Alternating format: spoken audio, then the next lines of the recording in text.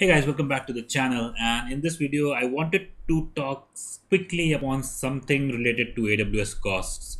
So I mean this feature was actually launched somewhere around November last year and it's it's actually becoming really amazing in terms of cost management in AWS, right? So this is called savings plan. So if you haven't heard about it, so savings plan are basically flexible pricing model that are offered by AWS in exchange for a commitment of a period, I mean, a certain compute power over a period of say one year or three years. So, I mean, if you if you take it, it's something like the reserved instance where you commit for like one year or three years, right? But this is for your on-demand instances. So, I mean, for reserved instances, you get a particular amount of reserved uh, instances amount, right? Which on which you get heavy discounts. Similarly, if you're running most of your workloads on on-demand instance and you don't want to go into reserved instances, you can go for the savings plan. So saving plan actually offer you hefty discounts. So like there are two types of saving plans. So one is the compute saving plans and the other one is EC2 instance saving plan. So compute basically covers a lot of uh, resources in AWS it automatically applies to EC2 instance usage, AWS Fargate, AWS Lambda service uh, usage, regardless of instance family, size, AZ, region, anything, right? And EC2 instance type of saving plan actually offers much more discount on the EC2 instance, uh, only on EC2 instance, depending upon the size uh, of the particular EC2 instance, right? So like this says, EC2 instance saving plans give you a flexibility to change your usage between instance within a family in that region. So this is more EC2 centric type of plan. So how to get started with this? So first thing you need to do is you need to go into AWS Cost Explorer. So if you just go and type Cost Explorer, you will get this service. You just go on to this. So right now, right now I am on AWS Cost Explorer uh, console and on the left hand side you will see savings plan. And to begin uh, i mean planning your savings you need to go to recommendations. So once you are on recommendations so here you have you can select the type of uh, savings plan you want. So right now it's compute saving plan which is selected by default. If you want you can select the ec2 instance saving plan.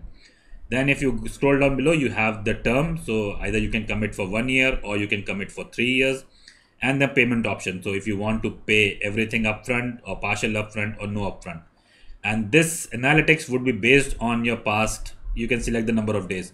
So suppose if you want to select say on based on your usage in past 60 days, right? So what have you what is your usage has been uh, of on-demand instance in past 60 days. So that will give you a better idea of how exactly are you using the on-demand on-demand instances in AWS, right?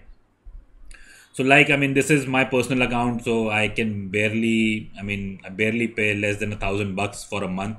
So that is why you see there are no recommendations this is actually helpful for organizations that are paying like millions of dollars a month uh, aws bills right?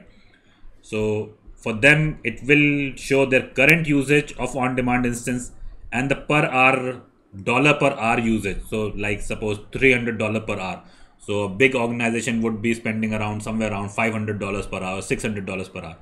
And then it's going to show you your monthly spend after you apply this savings plan. And here it will show you your monthly saving. And this could be very well well in range of around 70%. I mean if you like if you select a 3 year plan and you pay everything upfront, you can save up to like 70%. But on a minimum it is going to save you around 15% to 20% I mean, on a minimum. I mean, if you do no upfront and you just commit for one year, eh, you are going to save around like I mean, I did this for an organization, so I saw their savings. It was I mean, they were paying in like three hundred thousand dollar month a month. Uh, their bill was around three hundred dollars, three hundred thousand dollars a month, and after implementing this uh, savings plan, uh, this compute saving plan they were saving around $70,000 a month. $70,000 a month. So you can imagine how much they were saving for whole year, right? yeah and once you are happy you can just add that particular uh, savings plan to your cart it will show here in your cart and then you can buy go and buy this particular saving plan and it will i mean it takes some time to basically apply but it will apply to all your uh, resources depending upon the type of savings plan you have chosen right? Yeah so this is what i wanted to show you for this. I mean i found this uh, around a week back about this. So this was actually a very booming topic uh, the savings plan. So people were talking about savings plan in aws community.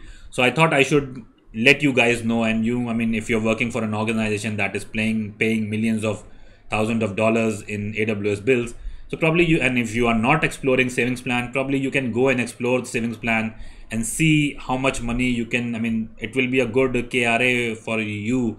And it will show i mean you can basically ask for a hike from your company. If you save them like even say 20000 30000 dollars a month right? So that will that will actually look good on your resume all right. So yeah this is it for this video guys. This is all i wanted to show you. I hope you liked the video. Please do let me know in the comments if you have any doubts about savings plans and i will get back to you. Uh, yeah and that's it. Thank you for watching guys